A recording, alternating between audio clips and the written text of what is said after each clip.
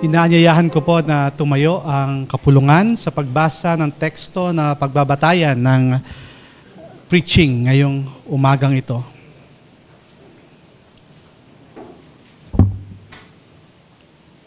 The Old Testament reading is found in Genesis 12, 1 to 5a. At doon po sa New Testament, Hebrews 8, Hebrews 11, sorry, Hebrews 11, 8 to 11 and 13 to 15. Narito po ang salita ng ating Panginoon. Genesis 12, 1 to 5a. Now the Lord said to Abram, Go from your country and your kindred and your father's house to the land that I will show you. And I will make of you a great nation, and I will bless you and make your name great, so that you will be a blessing. I will bless those who bless you, and him who dishonors you, I will curse. And, and in you all the families of the earth shall be blessed. So Abram went as the Lord has, had told him, and Lot went with him. Abram was 75 years old when he departed from Haran. And Abram took Sarai, his wife, and Lot, his brother's son, and all their possessions that they had gathered, and the people that they had acquired in Haran, and they set out to go to the land of Canaan. Hebrews 11, 8 to 11, and 13 to 15. By faith, Abraham obeyed when he was called to go out to a place that he was to receive as an inheritance. And he went out, no, not knowing where he was going. By faith, he went to live in the land of promise, as in a foreign land, living in tents with Isaac and Jacob, heirs with him of the same promise for he was looking forward to the city that has foundations, whose designer and builder is God. By faith, Sarah herself received power to conceive, even when she was past the age. She is considered him faithful who had promised. All this, these all died in faith not having received the things promised, but having seen them and greeted them from afar, and having knowledge that they were strangers and exiles on the earth. Verse 14 For the people, for people who speak thus make it clear that they are seeking a homeland. If they had been thinking of that land from which they had gone out, they would have had opportunity to return. May the Lord bless the reading of His Word. Sumandali po tayong yumako at tayo po ay manalangin. Heavenly Father, open the mouth of Thy servant and fill it with Thy wisdom and knowledge, that I may boldly proclaim Thy word in all its purity. Prepare our hearts to receive it to understand it, and to preserve it. Inscribe thy law as thou hast promised upon the tablet of our heart, and give us the desire and the strength to walk in the ways of thy precepts, to the praise of thy name and to the edification of the church.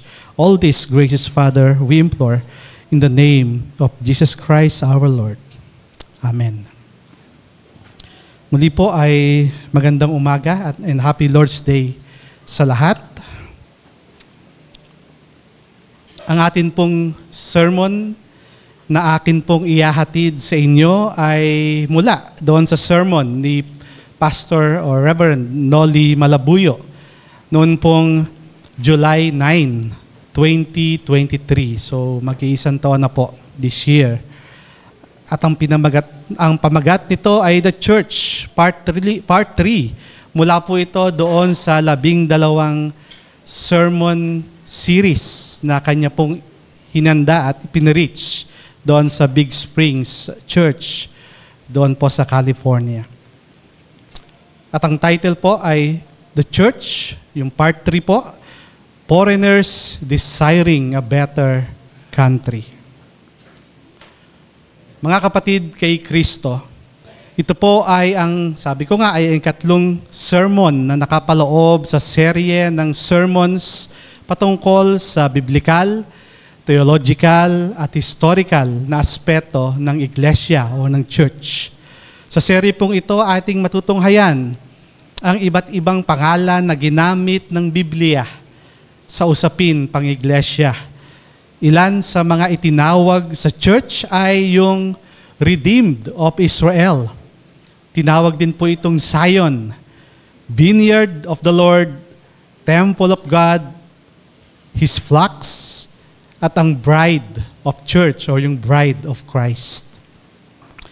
The first in the series was na atin din pong narinig ng mga nakaraang linggo, the church, gardeners and guardians. An exposition of the Garden of Eden as God's temple and Adam and Eve, yung first church. Sila ay inatasang gampanan ang paggawa at pangangalaga ng halamanan bilang pangunahing tagapangasiwa inatasang magtrabaho sa ikasasagana ng lupain at upang mapangalagaan din na hindi makapasok dito ang kasamaan na kanila namang hindi natupad nung hindi nila naitaboy si Satanas palabas ng Eden. The second in the series was the church, ship builders and life savers na ito'y natunghayan natin last week. Ito naman ay ang aralin patungkol kay Noah at ang kanyang sambahayan bilang isang iglesia at ang ark o yung barko na nagligtas sa kanila ay bilang si Kristo. Today, we will meditate the church, foreigners desiring a better country. Na kung saan ating pagdinilayan ng buhay ni Abraham, ni Sarah at ni Lot bilang mga dayuhan o mga taga-ibang bayan at manlalakbay sa mundo na nagnanais na maging mamamayan ng isang mabuting bayan. Ang bayan sa kalangitan na kung saan ang nagdisenyo, nagplano at nagtayo ay ang Diyos. Therefore, our theme in this Lord's Day is the church foreigners and desiring a better country na mayroong dalawang sermon points.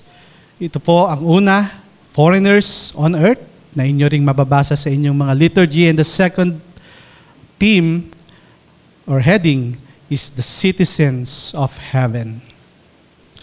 Brothers and sisters, God first called Abraham in Genesis 12, verse 1. Ang sabi po dito, Go from your country and your kindred and your father's house to the land that I will show you.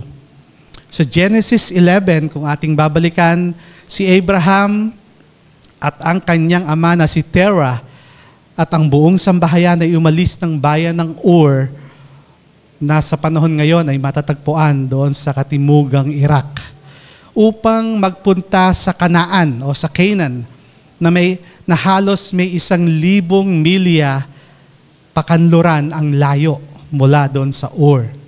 Ayon sa mga archaeological findings, ang Ur ay isang mayamang syudad. May mga produktong maganda ang pagkakagawa at ito ay sentro ng teknolohiya sa panahong iyon.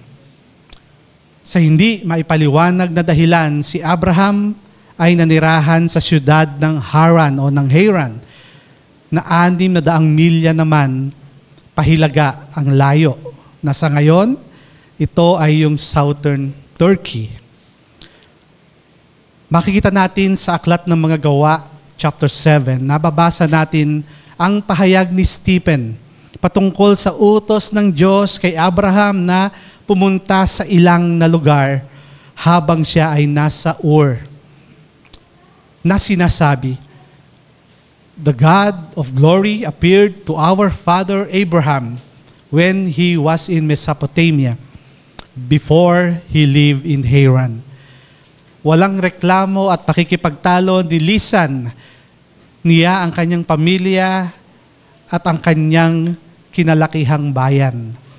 Sa Genesis 12:4 mababasa natin na siya ay sumunod sa Diyos at nilisan niya ang bayan ng Haran o ng Haran. Abraham believed God's promises in Genesis 12:1 to 3. Dalawa po yung promises na ito na ating matatagpuan sa Genesis 12, 1 to 3. Ang una, ang sabi po ay, I will make you a great nation. But the preacher says, there was a problem with both of them. At hindi nabasa that Abraham was as good as dead at si Sarah naman ay matanda na, past her age. But Abraham and Sarah Though after 11 years na mayroon silang doubt sa promises ng Panginoon, still believe that God would give them. Ang sabi ay yung descendants as many as the stars of heaven and as many as the innumerable grains of sand by the seashore. At ang ikalawang promise doon sa Genesis 12, 1 to 3 ay, all the peoples on earth will be blessed through you. In Galatians 3:16, also Paul says that the promises were made to Abraham and his descendants through Christ in whom multitudes from all nations became Abraham's children, heirs of the promise made to him. That was in Galatians 3:29. Lahat ng Hudyo at Hentil na gaya natin ay mga anak ni Abraham sa pananampalataya kay Kristo bilang tagapagligtas.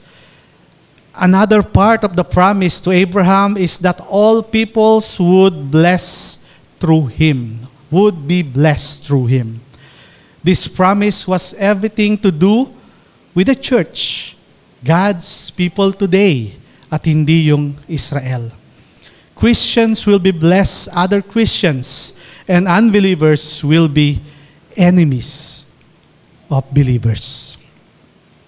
So when Abraham reached Canaan, what did he do? Sa verse 9, makikita po natin, by faith, Abraham went to live in the land of promise as in a foreign land, living in tents with Isaac and Jacob heirs with Him the same promise. So yun po yung ating text na ating binasa kanina sa New Testament. Mahirap para sa kanila o sa kanyang sambahayata lisanin ang mayapang, mayamang lupain ng Ur at ng Hiran.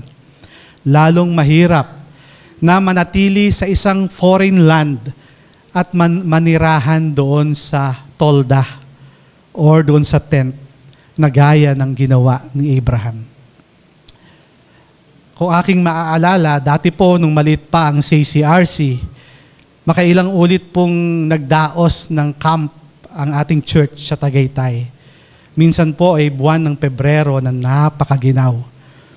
Kami po ay nagtayo doon ng tent at doon kami natulog ng isa hanggang dalawang gabi.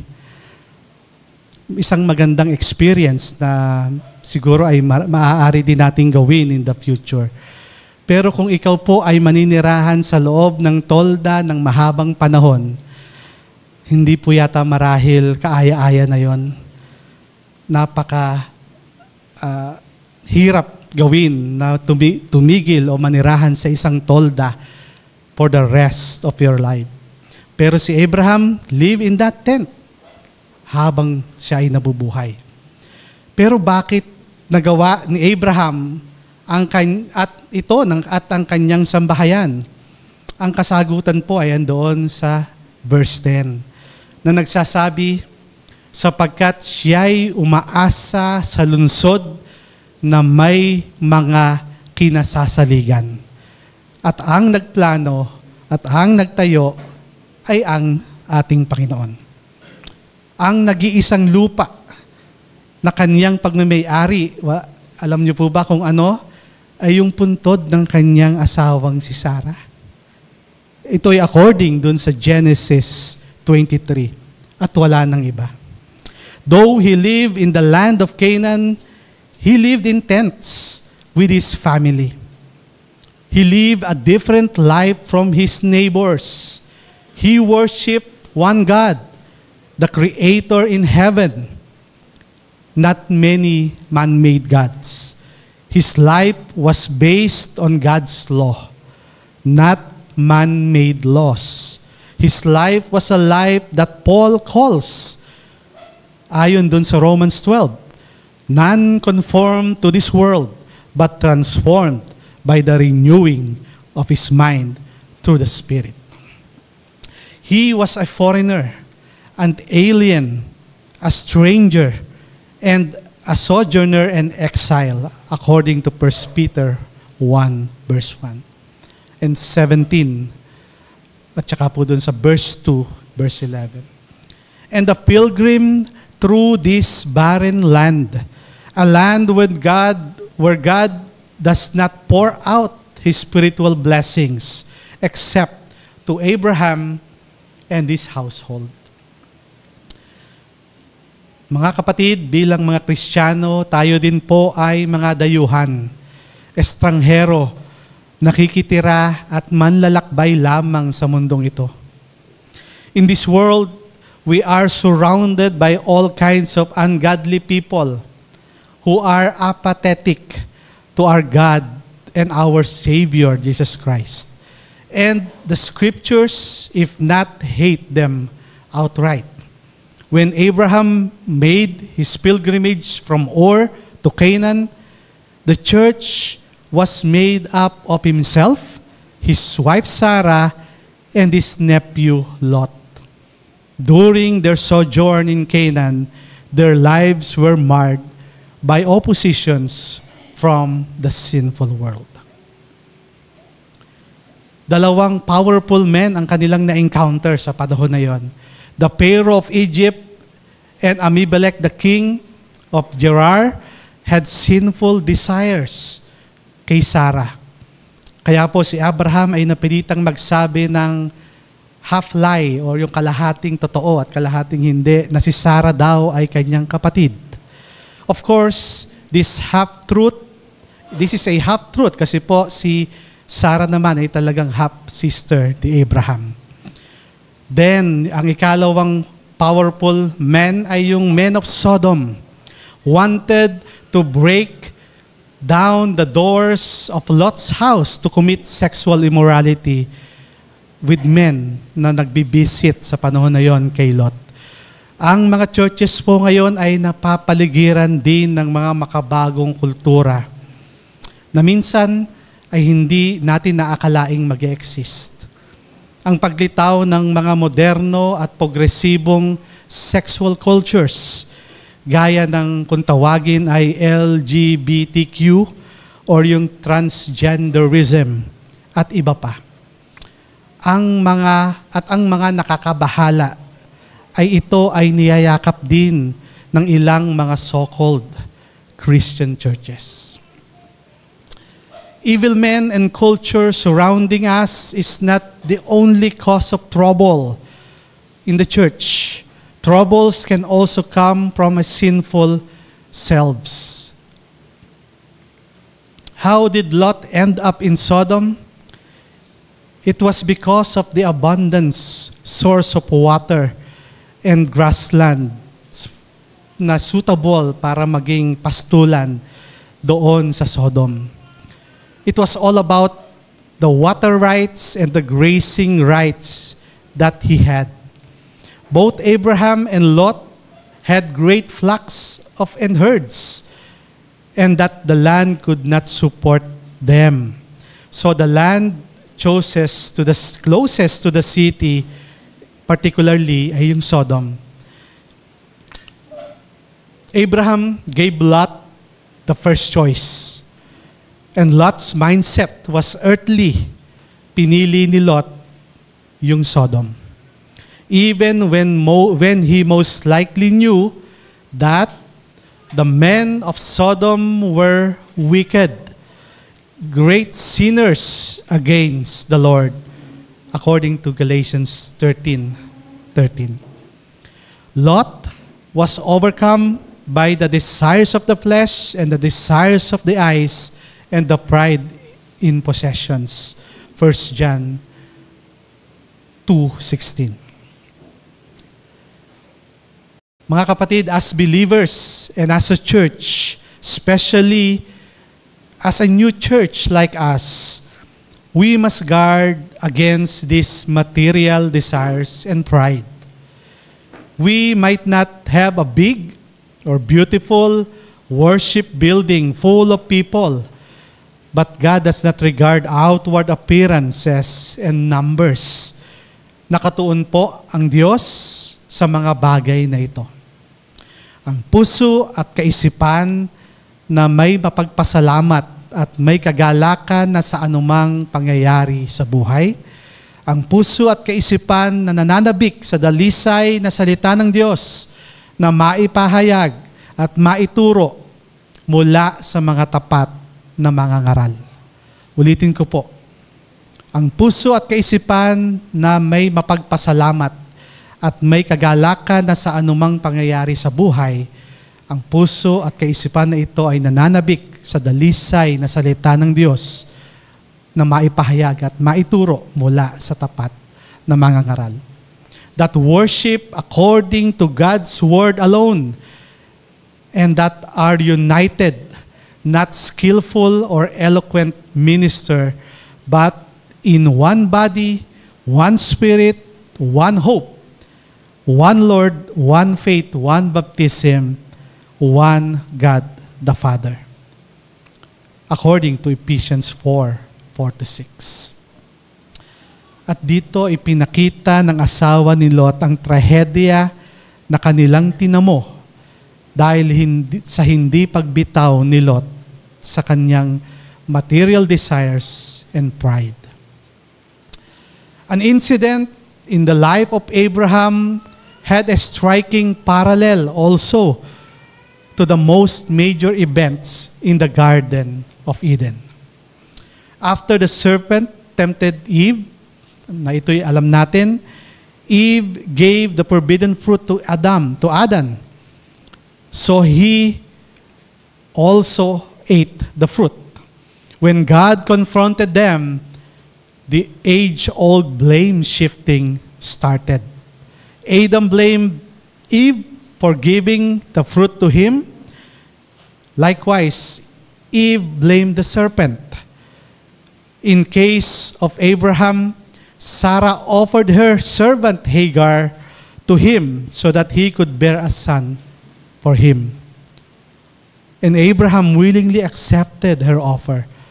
After Ishmael was born of Hagar, and Hagar had contempt for Sarah, Sarah blamed Abraham for her troubles. Like Adam and Eve, both Adam, both Abraham and Sarah had sinned. Abraham listened to the voice of Sarah in Genesis 6:2. And Adam in, in effect also listened to Eve's sinful offer. Both of them took God's promises into their hands, doubting hearts, and had a disastrous consequence. At ano po yung consequence na ginawa na ito ni Abraham? Na ang mga lahi ni Hagar ay patuloy na may pag-aalitan at hindi pagkakasundo sa mga lahi ni Abraham maging hanggang sa mga panahon na ito. These two incidents characterize the church from the very beginning troubles arises often from inside the church. Sila po yung mga false teachers, false prophets, and heretics. Have been around in the Old Covenant, Israel, and in the New Covenant. The early church from the first six or seven centuries was beset by heretical teachings so that councils were called. Kaya nga po, mayroon tayong creeds and confessions. Ito ay naisulat upang maiwasang magkaroon ng division sa church. This situation is still in the church today. Maraming mga tao ngayon sa church ay nakikinig lamang sa mga sinasabi ng mga false teachers na may hawak na Biblia sa kanilang kabilang kamay at ang kanilang mga material na kayamanan naman ay naandoon sa kabilang kamay. But troubles in the church does not end in false teachers.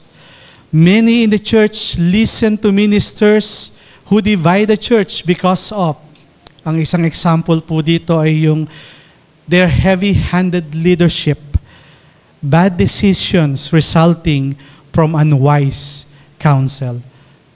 At minsan nakalulungkot, they are preaching from the internet. Totoo po yun pong paggamit ng tinatawag na artificial intelligence or yung AI ay laganap na din po particular sa paggawa ng sermon. Kaya po, kayang gumawa ng isang sermon, ang isang pastor sa tulong ng app or ng application sa loob lamang ng ilang segundo. Christianity Today concluded, o yung magazine na kilala naman natin maging sa buong mundo, concluded that a chatbot or yung isang app na patungkol sa paggawa ng ng sermon no ay chat o ng iba pang mga bagay a chatbot can research a chatbot can write a chatbot can also orate or maglahad at magreport but a chatbot cannot preach however even when Abraham doubted God's promises with its dire consequences, he was a faithful and obedient man of God all the way to the end. He fought against the sinful culture surrounding him because he was looking forward to God's heavenly country. Doon po nakatuon ang kanyang kaisipan we too must be counter-cultural in a way in this world, but not of this world. He was truly set apart by God to be holy and righteous, different from the godless world around him. May we reflect this set apartness by our mindset and our behavior among our unbelieving neighbors, mga kapatid. So they too would ask why we think we behave so differently from them. Na gaya ng binabanggit sa 1 Peter 3.15. The, the church then and now is God's chosen people who live on this earth, surrounded by a sinful, godless world and culture and desiring to live in an eternal, better country. Kaya nga po, mga kapatid, sa second point na atin pong pagbubulay-bulayan, we have the citizenship and that is in heaven. Abraham obeyed because of God's promise of a land But ultimately, his gaze was heavenward. He was looking forward to a city that has foundations, whose designer and builder is God. And his desire was a better country that is a heavenly one. The heavenly city is a new heaven and new earth, according to Revelations 21, verse 1 to 2.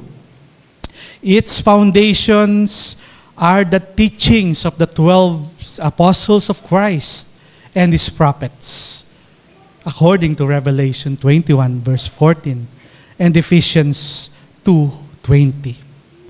But the main foundation is Christ Himself, the chief cornerstone of the church. Ephesians 2:20. As the hymn says, the church's one foundation is Christ, Jesus Christ, her Lord. God is the only designer and builder of the church. He, at has the same time, an architect, an engineer, a building contractor of the church. If not, if God is not the foundation, if God is not the designer and the builder, and the, at, at ang nagpe-preserve sa church, then it is not a church.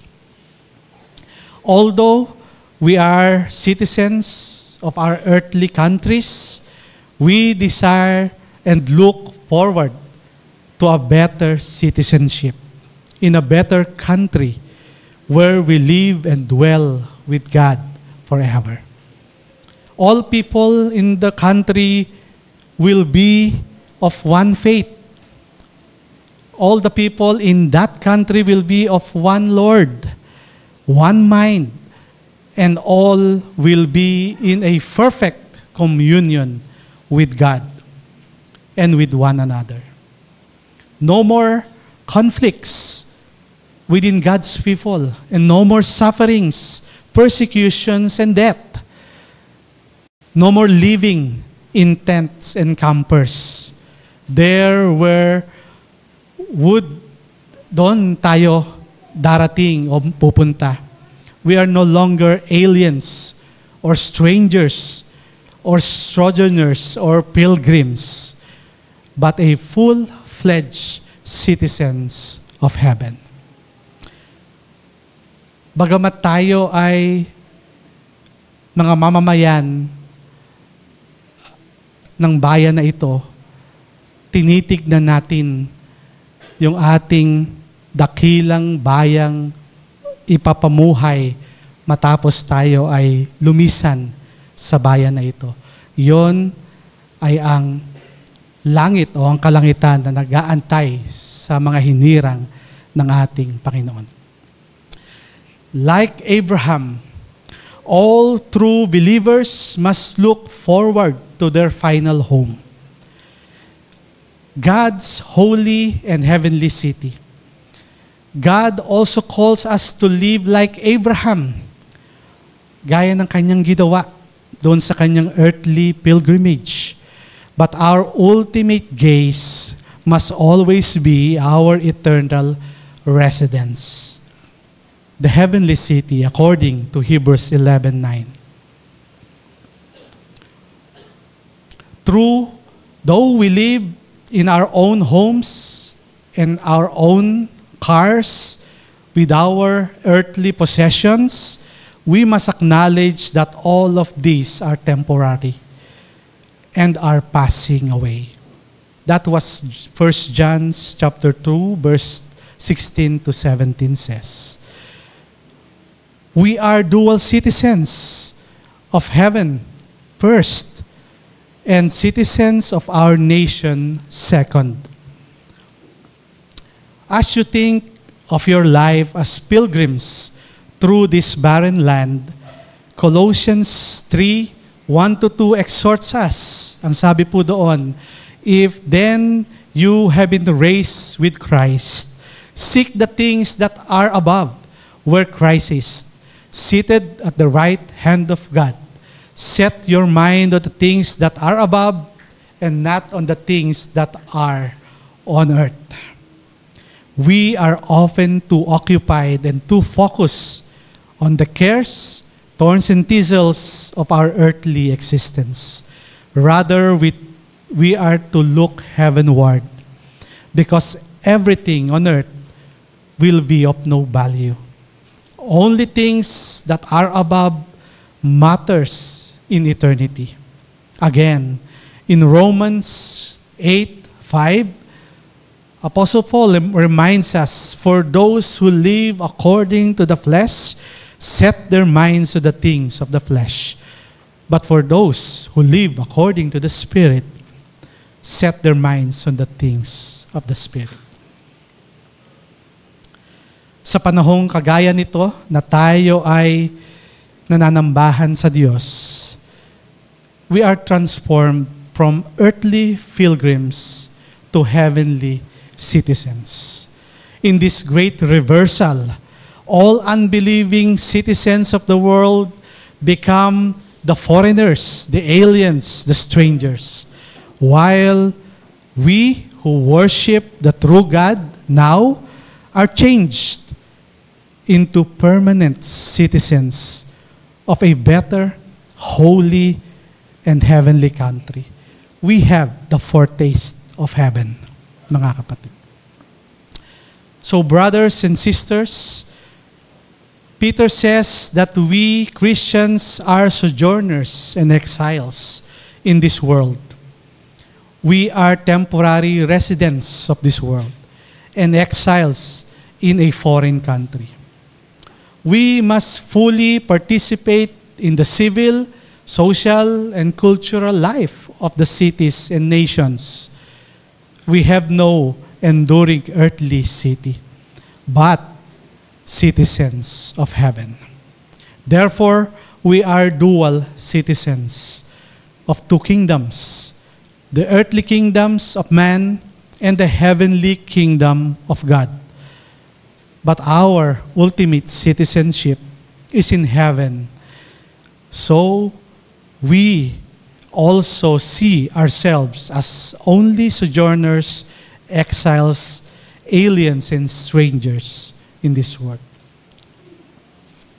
Yamang natutunan natin na ang kaharian ng Diyos sa lupa ay ang iglesia o yung church. Atin pong tandaan ang mga salitang ito. That we are to participate in the life of the church. That we are commanded to assemble together every Lord's Day for worship. We are to be united in one Lord and one faith. And we have to obey God's commandment. And we have to repent whenever we sin, to hear the word of God read and preached, to partake of the sacraments, to pray for the church, for one another, and for our civil authorities, and to use our spiritual gifts for the building of the church, to guard the church from all false teachings, from errors and divisions, and to live godly and holy lives. And lastly, to witness to the world, proclaiming the gospel, the good news of salvation in Christ to those around us. Tayo pong lahat ay manalangin. Dakilang Panginoon, Salamat sa katotohanan iyong binigay patungkol sa iyong iglesia na ikaw ang siyang nagtataguyod at patuloy nagpe-preserve sa iyong iglesia dahil ikaw ang nagplano, naging arkitekto nito at gumawa nito para sa iyong mga hinirang. May you continue to give us the edification bilang mga mananampalataya sa iyong iglesia na kami ay patuloy na lumago sa pananampalataya, sa kaisahan, sa pag-ibig, at sa pananampalataya at sa kaalaman na nagmumula lamang sa inyo. Sa ngalan ng aming Panginoong Yesus, na aming Panginoon at tagapagligtas. Amen.